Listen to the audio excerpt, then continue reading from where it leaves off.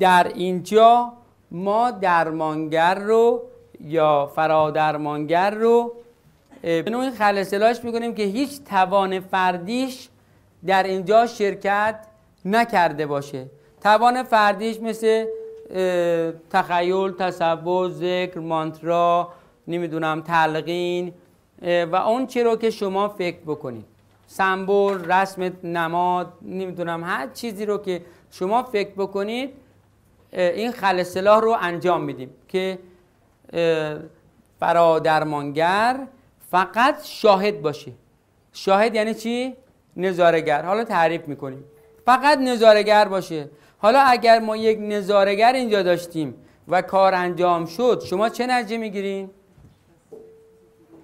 نتیجه می‌گیرید که این کار از جای دیگری باید انجام شده باشه. و باید یک هوشمندی عظیمی پشت این قضیه باشه. اگرم انجام نشد که دیگه اون وقت هیچی. اما اگر انجام شد دلیل بر این است که ما پی به وجود یک هوشمندی پشت سر این قضیه می‌بریم.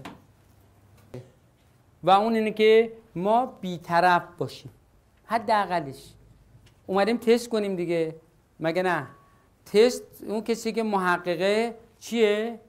بی نظره. دستشو می‌زنه سینهش با میشه نگاه می‌کنه. ببینه اگه بود میگه هست. اگر نبود میگه نیست. به این میگن شاهد. خب بحث شاهد در عرفان خودمون. زمه بنیوشو دل در شاهدی بند. که حسنش بسته زیور نباشد. بیا این کار شاهدی رو پیشه کن از خب بیا این کار به از این آگاهی بنوش. از این آگاهی بنوش و به صلاح به شاهدی تن در بده. انقدر حس داره که اگر بسته زیور هم بهت بدن انقدر حسش اون حس نخواهد داشت. خب تنها چیزی که اینجا قرار ما داشته باشیم اینه که بیطرف باشیم دست به سینه باشیم. بله بفرمایید. نشون بدیم خوبه؟ دیگه از این آسونتر؟ بله؟ خوبه؟ موافقین دیگه همه؟ اشتیاق نمی‌خواد ایمان نمی‌خواد. ایمان باور به باور ایمان یقین بعدا باید به وجود بیاد.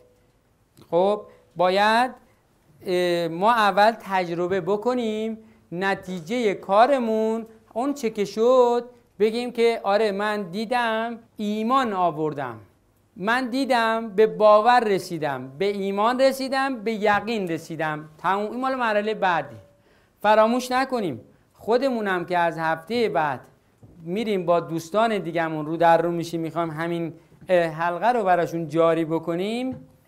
شرط حضور در حلقه وحدت بیطرفی و شاهد بودن است. و لازم نیست که فرد به این ارتباط عقیده و ایمان داشته باشد. یک موضوع دیگه برای اینکه بازم بهتر شاهد بشیم این مطلب هم بعد نیست داشته باشیم. افراد رو ما به دو دسته می‌تونیم تقسیم بکنیم. کاری که ما باید انجام بدیم گفتیم چیه؟